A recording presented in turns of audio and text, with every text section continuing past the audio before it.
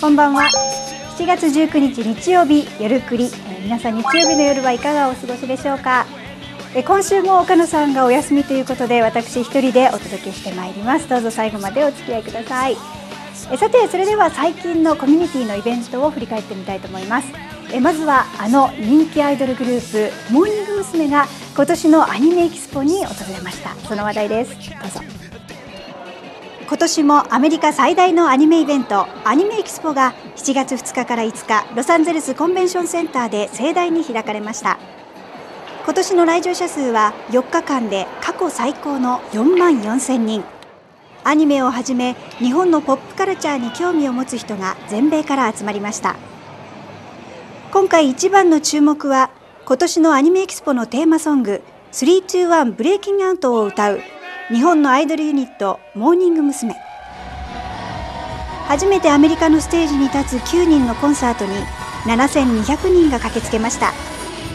可愛らしい歌声と踊りに観客は大興奮やっぱり何より知ってもらいたいっていうのとあと私たちの曲ですごい元気になってもらったりとか一緒にあの振り付けを覚えてもらったりとかそうやって私たちの私たちのやってることって結構キャッチーだったりとかすぐ覚えられやすかったりとかするので一緒にやってもらえたらなと。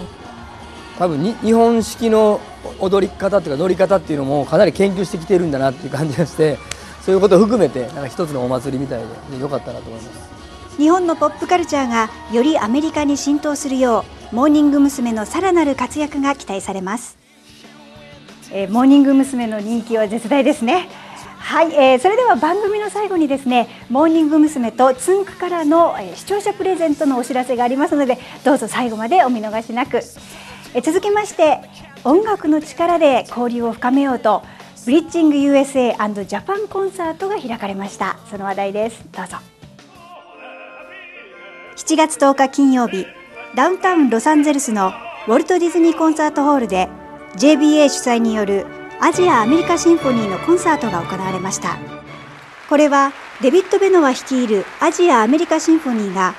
音楽を通じて日米間の交流を深めたいという JBA の熱意に共感する形で実現したコンサートです。ブリッジング USA& ジャパンと銘打たれたこのコンサートでは日系コミュニティからボランティア380人がコーラスメンバーとして参加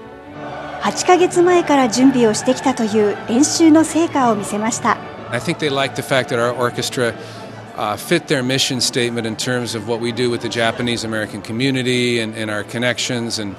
uh, you know we had a, the resources to help them uh, really put it together. 日系人っていうのは間違いなく一番日本日本人の近い友人であるはずなんですね。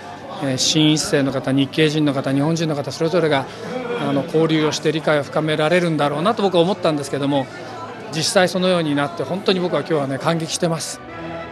コーラスとオーケストラが織りなすその音色と迫力に会場は熱気に包まれました。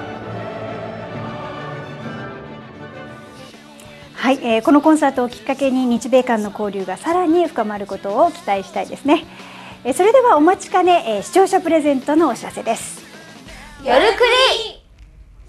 モーニング娘。のサイン入り CD とつんくの携帯ストラップそれぞれ3名様にプレゼントします。